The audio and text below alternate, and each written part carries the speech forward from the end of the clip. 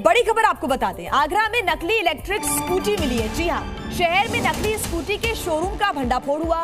Showroom में police ने छापामार कार्रवाई की है और इस दौरान मैनेजर को गिरफ़्तार भी कर लिया गया है।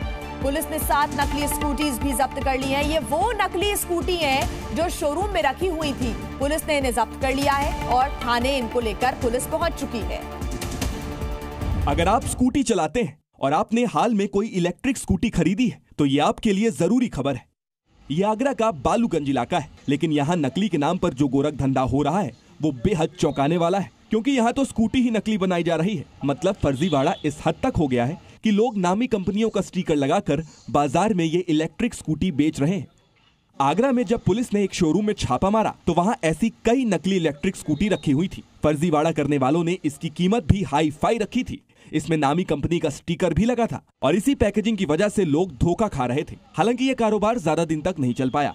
दरअसल जिस कंपनी का स्टिकर लगाकर ये नकली कारोबार चल रहा था, उसके अधिकारियों को इसकी भनक लग गई। इसके बाद अधिकारियों ने पुलिस से संपर्क किया और फिर छापामार कार्रवाई की गई। कंपनी को कई दिनों से, कई माह से ये कंप्लेंट आ रही थी कि कंपनी का प्रोडक्ट जो है वो निम्न गुणवत्ता के कारण बहुत कंप्लेंट आ रही है। जाँच में पाया कि वो कंपनी का है ही नहीं प्रोडक्ट कुछ तो मॉडल ऐसे हैं जो कंपनी ने आज तक बनाए ही नहीं। अब जिस एक व्यक्ति को हिरासत में लिया गया है, उससे पूछताछ के बाद नकली स्कूटी से जुड़े और भी बड़े खुलासे हो सकते हैं।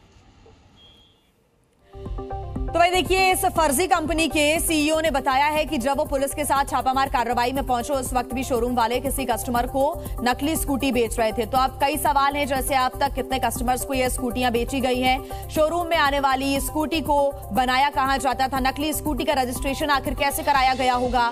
ब्रांड के स्टीकर कहाँ से लाए गए होंगे? ये वो सवाल है जिसका जवाब अब पुलिस को ढूंढना है। पुलिस लगातार मामले की जाँच कर रही है। Z News.